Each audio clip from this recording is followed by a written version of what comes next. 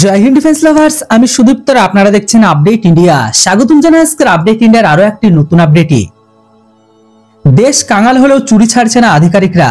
পাকিস্তানের এবার জমির পরে সরকারি গুদাম থেকে উধা হলো চল্লিশ হাজার টন গম। বর্তমান সময়ে পাকিস্তান চরম অর্থনৈতিক সংকটের মুখোমুখি হয়েছে। পাশাপাশি গত বছর পাকিস্তানে ঘটা ভয়াবহ বন্যার জেরে দেশটিতে দেখা দিয়েছে খাদ্য সংকটও। তবে ঠিক এই আবহে এবার সামনে এলো একটি চাঞ্চল্যকর ঘটনা। জানা গিয়েছে, সিন্ধ প্রদেশের এবার সরকারি গুদাম থেকেই চল্লিশ হাজার টন গম চুরির ঘটনা ঘটে গেল, যার বাজার মূল্য হলো প্রায় একশো কোটি টাকা। শুধু কিন্তু এখানে শেষ নয়, সবচেয়ে অবাক করার মতো বিষয় হলো ওই চুরির ঘটনার পরিপ্রেক্ষিতে ইতিমধ্যেই সাতষট্টি জন উচ্চপদস্থ সরকারি আধিকারিককে সাসপেন্ড করা হয়, এমনকি তাদের উদ্দেশ্যে শোকজ নোটিশও জারি করা হয়েছে।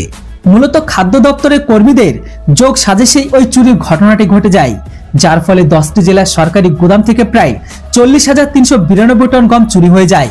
যার মধ্যে রয়েছে সিন্ধ প্রদেশের দাদু, কাম্বার শাহাদতকোট, লারকানা নবাব শাহ এমনকি জাকবাবাদ, খয়েরপুর, শুক্কর, ঘটকি, সাংঘর, এমনকি মিসরপুর খাসের গুদামগুলি থেকে এই সমস্ত টোটাল গমগুলিকে গায়েব করা হয়। তো এই দিকে আবার জানা গিয়েছে, বরখাস্ত করা হয় ওই সাতষট্টি জন উচ্চপদস্থ সরকারি আধিকারিকদের মধ্যে উনপঞ্চাশ জনই ফুড সুপারভাইজার, এমনকি আঠারো জন ফুড ইন্সপেক্টর রয়েছেন। পাশাপাশি কেন তাদের নিজ নিজ পদ থেকে বরখাস্ত করা হবে না সেই প্রসঙ্গে খাদ্য দপ্তরের তরফে সঠিক ব্যাখ্যা চাওয়া হয়েছে।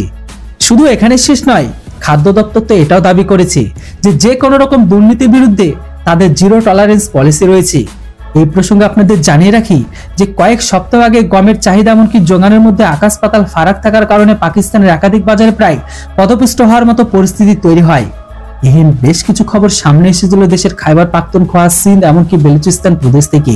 তো এই দিকে আবার বর্তমানে রাশিয়া সহ বিভিন্ন দেশ থেকে গম আমদানি করতে বাধ্য হয়েছে ওই দেশ।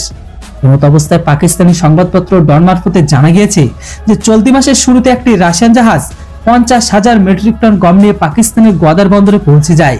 পাশাপাশি একজন আধিকারিক জানান যে, এইটি বন্দরে আসা গম বহনকারী দ্বিতীয় রাশিয়ান জাহাজ ছিল। এছাড়া তিনি আরও জানান যে, রাশিয়া নয়টি পণ্যবাহী জাহাজের মাধ্যমে পাকিস্তানকে পঁয়তাল্লিশ হাজার টন গম সরবরাহ করবে। তবে এই আবহে এবার বিপুল পরিমাণ গম চুরির খবর মিলল পাকিস্তান থেকে। যে, পাকিস্তান আজ রাশিয়াকে পিছন থেকে ছুরি মারতে পিছপা হয়নি। সেই দেশের মানুষজন কেমন হতে পারে আশা করি বুঝতে পেরেছেন। এতগুলো গম যে চুরি করল, সেটা বাইরের কোনো সাধারণ জনতা করেনি, করেছে সেই সমস্ত ফুড সাপ্লাই লোকেরা। তো বন্ধুরা, পাকিস্তানের এই ঘটনা সম্পর্কে জেনে আপনাদের মনে কতটা আনন্দ লাগছে এই বিষয়ে অবশ্যই আপনাদের মতামত কমেন্ট বক্সে লিখে জানান। Thanks for watching Jai Hind Vande Mataram